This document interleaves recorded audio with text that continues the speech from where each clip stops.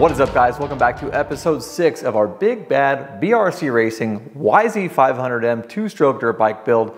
My name is Charles, owner of MX Revival and MXRevival.com. And when we're done building this bike, one of you guys is taking it home. So go ahead and get yourselves entered on mxrevival.com and when you do, you're automatically entered into every YouTube episode's MX parts giveaways, including today's episode. Guys, as you can see, our frames are back. They look amazing and you loved episode four so much. So many of you commented to me that you wanted the full Fast Blast tour over at Fast Blast and Coat that Dean actually invited us back and let us see the entire powder coating process start to finish. So that's today's video. Really excited about it. And as is with any master of his craft, there were a ton of tips and tricks. I learned a lot, so I know you're going to love today's episode, but check these frames out. Our main frame is a gorgeous dark blue, very OEM Yamaha. In fact, a little better in my opinion, just a little bit deeper, a little bit darker. Every hole, every pivot, every threaded area or metal contact point on this frame has been prepped to the max to ensure I will not have to chase a single thread when I start putting everything back together. This frame is absolutely gorgeous. Cannot believe how nice it came out. And the swing arm, well, that's a perfect example of the vision I had for this bike as well. Long before I ever even took these parts to Dean, he absolutely killed everything I brought in. And the silver we use on the swing arm is a hopped up, much better looking silver than that of the painted type that used to come on these bikes back in the day. And the subframe, I just couldn't help myself. I had to keep it old school. We went with the blue on the aluminum subframe, just like those old steel frame bikes before aluminum subframes were a thing. It was perfect timing for the frames to come back because behind the scenes and between episodes, I've been stripping, prepping, and replating all of the hardware in your YZ500, all your linkage bolts, all your engine bolts, all the steel parts in your brakes, brake pedal pins, all those things have been zinc plated. They look amazing. That way, when the engine comes back, we can drop that sucker in, turnkey, everything will be fresh, no stone unturned. You guys know how we do it. If you guys want a more in-depth overview of the zinc plating process, you can let me know below. Or if you're tired of all my zinc plating videos, because I've done a ton, there's also a link in the description below, shows you how to do it, how to do it at home, what I use, the whole deal. So you guys will be able to do the exact same thing with your hardware. Now guys, when we get back from Fast Blast and Coat, I'm gonna have a brand new MX Revival MX parts giveaway for you. So stay tuned for that because I know you're gonna love it. In the meantime, let's get the hell out of here and head over to Fast Blast and Coat. All right, we're back again, Fast Blast and Coat with my man Dean. And I think you guys are gonna be pumped because you loved episode four. If you didn't see it, check it out. But we are back with another YZ500 build episode. And you guys probably don't even recognize the old 500. Look at that. That's the frame that came out of the uh, the dead hooker tank. I keep calling it that. I might get in trouble eventually, but we'll see. So, dude, what what's going on here with the frame, and how are you doing this morning? Uh, we're getting ready to blast it. Uh, as you can see, all the all the paint is gone. We've uh, went to phase two, which is in the oven. We gas it out, and -huh. obviously it just you know starts puking stuff all over the place, and and it gets a little rusty. It's just surface rust. Right. Okay. Um, so this so is basically every time you pull something out of the, they, the tank, they come out ugly like okay. this, and, and then uh, we're gonna throw it in the blast cabinet, get it all ready to coat today. Yeah. Um, but we do a few little things before we do that. We make sure there's no hangnails or or um, gouges or stuff like that. We'll clean that up. Yeah. There was a couple of those on this frame. Yeah, it looks like you removed some some factory welding slag. Is there like a spot that I can yeah, show? Like I mean, that's spots that's extreme like attention here. to detail. There was a couple in there, a couple in here. Uh-huh. Looks we just good. like to knock those off. Matter of mm -hmm. fact, there's one right, right there I probably could get off. I won't tell anybody. what else? You, you got the VIN um, protected? We got the VIN. The VIN's protected. Now, some of these um, aren't deep enough. The funny thing about this one, these are raised letters. Oh, okay. Some are actually engraved. Right. So I went ahead and taped that because I want to protect those raised right. letters. Yeah, especially for the new owner, right, when they register this thing. Some of the Huskies, KTMs, um, they engrave them, but they're real shallow. Mm -hmm. um, so those will come off in the blast process, right? Sometimes it'll make it worse. Yeah. Um, so we'll use like a we'll use a mini engraver and uh, oh. we go oh. in there and clean up the the VIN numbers. Got it. Get um, a little more staying power before you do what you do. Yeah, and even sometimes, even after that, we'll still uh, tape it off um, because you're doing a two-stage. First one's going to be color, second's clear. Okay. Um, so we could just tape that off, and then we'll do the blue, the royal rather, we'll peel that off and then put the clear on it. So it'll protect that spot. Okay, cool. So there'll be no blue on the VIN, but then we'll shoot the clear on it and it won't rust. So in other words, today you're taking us through the entire process due to popular demand. We did the, uh, like I said, EP4, we did the tank. Now we're gonna see the prep process, the blast process, and then we're actually gonna throw some powder on this thing Yep. inside of the booth. So that's that's gonna be a real treat for me, to be honest. And then, uh, Yeah, of course, everyone else is gonna love it as well. So thanks for having us. This one's wild. It's going to be an illusion color, and it's a dormant powder. So when you see the first coat go on, it's not going to be the color. It's going to be when it's done. Okay, And I cool. think you'll be uh, you'll be pretty surprised what it looks like. I, we're all very excited. Okay, we're going into blast. All right, let's do it. Okay, Colton, you're going to be on camera. Your first day, you're already on film. You're a star. Maybe let's get this wiped down again so he can try to get some footage in the cabinet. Cool. So this is the dry blast. Are you, what are we shooting this thing with for the DIYer? So there's um, 100 grit um, garnet sand in there. Um, we use an upgraded uh, gun from Tacoma Company. Mm-hmm. Um, it does a nice job. It's more efficient than the standard gun you'd get in like a Harbor Freight cabinet or something. Yeah, better than the one that came in at stock, probably. And- Yeah. Okay.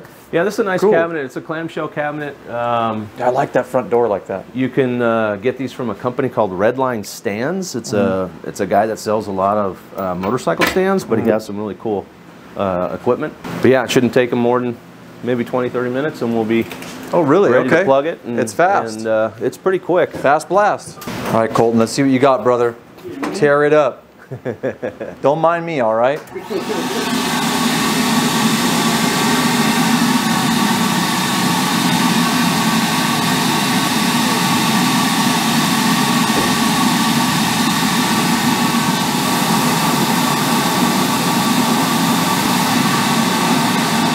So you can see it change from rust to that, that concrete color. We're putting the etch on it, which helps adhesion.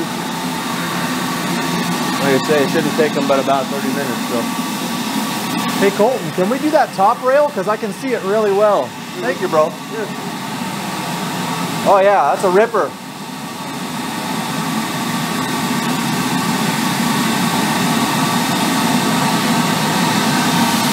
Thank you. Yeah, man. All right, Josh, what you got there, man? You got the frame out. Looks a little different. Yeah, I'm gonna start cleaning up all the weld splatters. If Okay. there's any dents or anything real quick. What do you quick. see on there that you might want to? oh, just along in here. Okay, a few more little slaggies. Yeah, just clean it up some right in here. Uh-huh. Very cool. It's a nice frame. You like it? It's, a, it's in decent shape compared to some other other stuff that comes in. You think? Oh yeah. Okay, that's good to Way know. nicer. I wasn't really sure. And then one thing that we do is is got these circles here. Uh huh. You place them right over where you put your magneto. Okay, so you just don't even let those threads get powdered up in the first place. Is that like a? that way like- you have ground too. Oh, I see. It's cover. It's a broader surface area for the coil. That's slick, man. So you got a sticker that goes down that gives you a little more raw steel, so your coil has a place to attach, and you don't have to grind a bunch of the brand new powder off. Exactly. All right, so we're plugged up. We got all the slag off that thing. It went into the oven for a minute for a gas out, or no, not a gas out. It's a preheat. we like to shoot it a little warm when it's Okay. this cold. Okay, So you put it in just for a second just to warm it up a tad. nice. So what are we doing now? So he is throwing the powder on. You can see it's uh, it's sticking on its own. He's going to have to work at getting in some of the tight areas. That is such a cool color.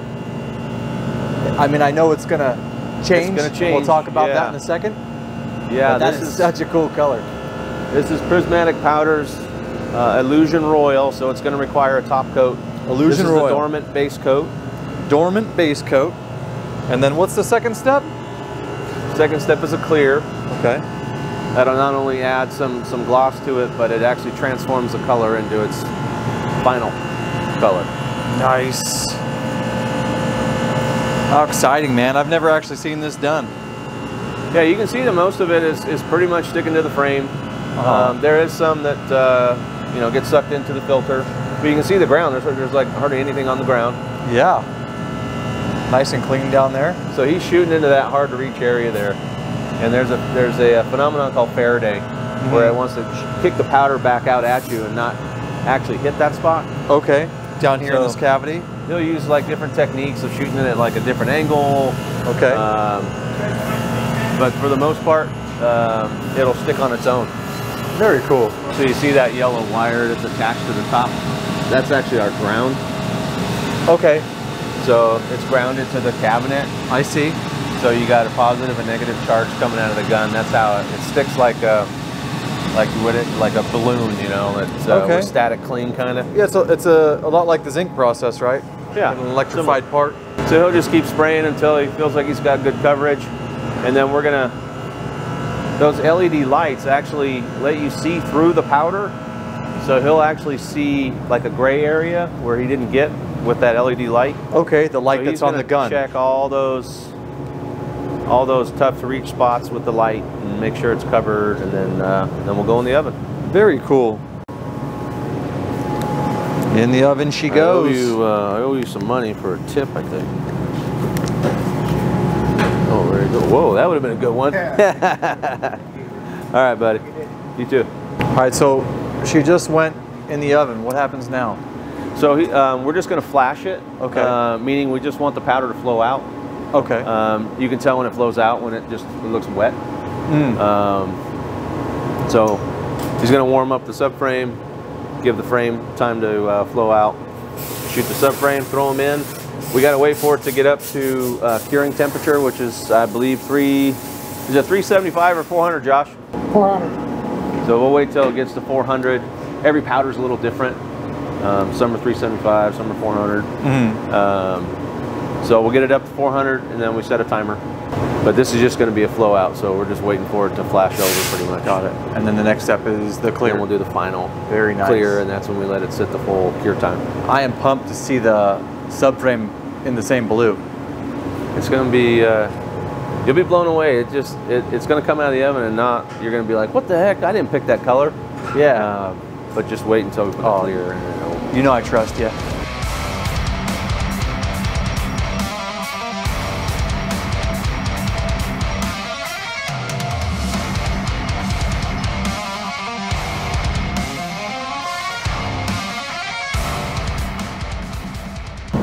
All right, here she is. Oh yeah, I see what you mean about the different color.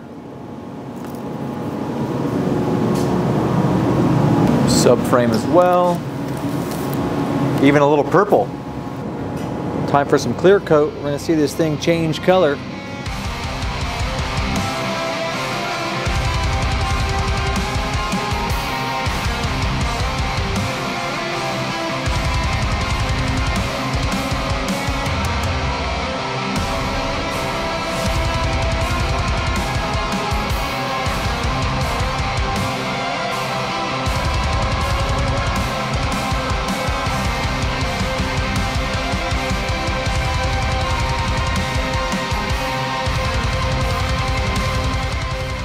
Okay, here we go, the big reveal. All right, let's see. Holy crap, that's so different.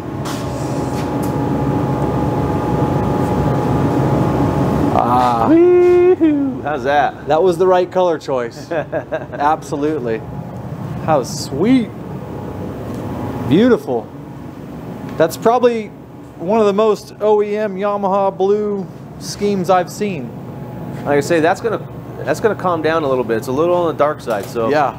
Give that you know 10 minutes to cool, and it actually might get just a little bit lighter. Cool. Hey Josh, can we bring one out here real quick? So I can get a little bit of light on it? It's kind of tough for the camera back there. Perfect. Awesome, man. Oh yeah. You would never know that was going to come out that color. It goes Yeah. from Isn't that crazy? bluish to grayish purple to white to that. That's beautiful. And so this is going to maybe get a little more vibrant, you said? Um, Kinda cool or- or lighten when up? It, when it finally does all of its cooling, it'll it might lighten up a little bit. It won't be as as dark. I love that. That's very OEM Yamaha. Good job. That's a little better. Oh, I got some light. That looks so good. How awesome. But look at the difference. Isn't that crazy? That was. Okay, clear. yeah, good example. So these bicycle frames were the same color, Yeah. uh, pre-clear coat, and wow. Josh is pulling his stickers off there. Very thoughtful, so we don't have to grind the powder coat off for our coil. So this guy back here, old crust bucket, this is going to be like uh, we're going to finish that up with. Uh, it's going to be a surprise next time we come back at pickup, guys. We'll show you. We're going to do like a lightish gray, right? Something like that. I Yeah. kind of forget actually, like a grayish O2. Back when they used to paint these things. All right, Dean, looks really good. Thank you for having us. Anything you want to close out with? No, thanks for stopping by. Yeah, it's a Uh, pleasure. that was the final process of the powder coat, and if you got anything else to do, bring it by, and we'll run you through that too. oh, you- no, I will. Still got Cerakote to do, and well, you've done enough of the vapor blast. They know all about that, but uh, Yeah. we could do an episode on the Cerakote we're going to do on your uh, silencer. That's right. The Yeah. the etch, right? Yeah, um, that's still hot, so um, I think he's going to shoot the swing arm tonight. So Okay. you want to swing Cool. by tomorrow, and you'll have everything you need to assemble. Yeah, sounds good. Okay. All right, brother. Thanks. Thanks. All right, guys, we're back, round three, with Dean at Fast Blast and Coat, and he has some breaking news about the BRC YZM 500 not fitting in our beautiful blue frame. Yeah, so we, we changed it up. Um, you know, just one motor's boring. So we're going to do a, uh, a 500 twin, Okay. and we found the frame that it will fit in. What in the world is that? Thing looks like Shamu, bro. what is that? I believe that's a Z1 or A something. Z1? Some Okay. crazy four-cylinder I'm crotch rocket street bike. blown away that you even have the space to work on that thing. But uh, should we tell them the truth? What do you think? Yeah, uh, right. truth is the uh, the 500 is ready. And It's ready for a motor. It is fucking gorgeous. We'll get it in some better light, but guys, came out so good. That is Work of called. Illusion Royal, and then you've got BMW Silver on the swing arm. So I can't believe, as already stated, how amazing this looks close to OEM Yamaha Blue. And this is a whole nother story. This is so clean. It is very, it's like a super stock version of the O2 swing arms that have the silver paint. The whole thing came out so, so good. Yeah, your VIN's ready. You know, it's uh, we we spent some time make sure the VIN's still Mm-hmm. good. You got ground for your coil. Uh, you won't have to run a single tap in anything. Yep. Uh, your swing arm's going to fit perfectly because we make sure there's no coating on the Okay. where the swing arm goes. I won't be in there with a Prime MX wheel. Nope, it's ready to go. it looks Start amazing. bolting stuff on. Dude, thank you so much. You did You're an welcome. amazing job. You're welcome. Josh! Josh, get over here. I'm just messing with you, man. I'm acting like I actually did stuff. Uh, Josh did 90% it of was the work all on me. You killed it, bro. Thank you. Thank you. Looks beautiful. so, guys, having said that, we're going to sign off. It's been a pleasure getting to know Dean better, getting to hang out in his shop and show you guys what's going down with powder coat. And there will be more. We've got some uh, silencer etching, a cool little trick Dean does here coming up. And until next time, hope you guys enjoyed this episode. Peace. Such a killer time with Dean and the boys over at Fast Blast. I know I've said it a hundred times, but I am so pumped on this. It is so freaking close to the OEM color, and I like it a little better. It's a little darker. It even has the tiny little metallic flake sparkles in it, just like the OEM paint. The swing arm is exactly what I was going for as well. The vision for this bike is an ultra pumped up super stock where we have an OEM look and OEM cues, but a ton of overboard hard parts. So Cannot wait to show you guys what's coming next. It's going to blow your mind, I absolutely promise. So Dean and crew at Fast Blast, thank you for crushing this for all of us. Looking forward to our next project together. You guys can get a hold of Dean and learn more about what he does by checking all of the links in the description below. And don't worry, if you want to send your stuff in, easy to do. You can ship them parts as small as brakes, all the way up to mainframes, and you know it's gonna come back looking tits. So guys, here we go. It is time for an all new MX Revival MX parts giveaway. Now I've got two types of giveaways for you guys today. We have a giveaway for my guys who have already entered on MX Revival to win the YZ500, and then we're gonna do a comment giveaway. So for all my guys who have already entered to win Annihilator, this first one's for you. So first up, my buddy Josh at 3DP Moto custom 3D printed a set of front and rear brake line guides for our YZ500 project. So today, Josh and I are going to be giving away two sets of these front and rear brake line guides. For the YZ500 project, he also sent us a set of swing arm plugs, both in black and gray. The gray plugs actually match the silver swing arm perfectly. We may go ahead and try the black later too if they tie into some of the other accents on the bike, and we like that. All 3DP Moto parts are a direct bolt-on for your damaged or stained OEM units. They're super flexible, super resilient if you were to go down in a crash, and maybe best of all, you can even personalize these things. You guys can run your last name, your race number, whatever whatever you want. In our case, we went ahead and used our custom YZ500 logo that my boys at DecalWorks made for this project. Josh was able to burn that right into the front brake line guide perfectly. You're gonna start to see more of this throughout the build, this particular logo. Now, Josh makes 3D printed parts for a variety of bikes, not just Yamahas. So if you win today's giveaway and you don't have a Yamaha, most likely we still have you covered. So don't worry about it. Josh, you killed it on these. Thank you, bro. Next up, my buddy Chris at Watson Synthetics has supplied this entire bike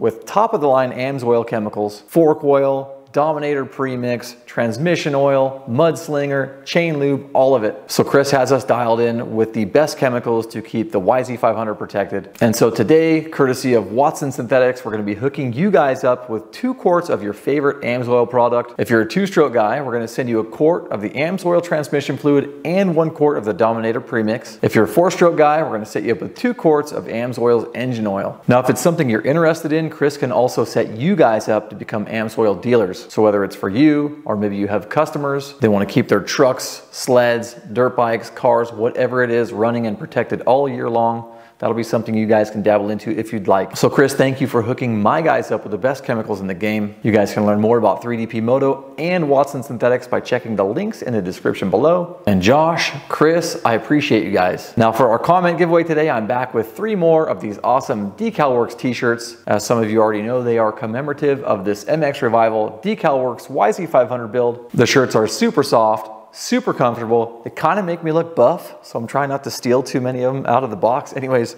they fit really good. So for today's comment giveaway, guys, I want you to let me know what your favorite part of the powder coating process was over at Fast Blast. Was it the chemical tank from episode four? Maybe it was the blasting, the actual baking, the powder going on. So let me know what your favorite part of the process was or something cool that you learned that you didn't know before. For me, I really like the prep level stuff. I was stoked when I saw Josh put the little circle decals on the frame where the coil goes so we have a good ground later. With all that said, guys, and the one girl that maybe watches this channel, I'm out of here. Thank you so much for being the most important part of this build series and what we're doing. None of this stuff happens without you guys. If you guys missed out on last week's episode where we tore down the ultra nasty YZ250 donor engine, you can catch that right here. Also, here's a link to get entered on mxrevival.com to win the YZ500. I'd be pumped if you had time to share these videos with a friend. Really gives a nice boost to what we're trying to do here. And until next time, guys, shred safe and and I will see you soon.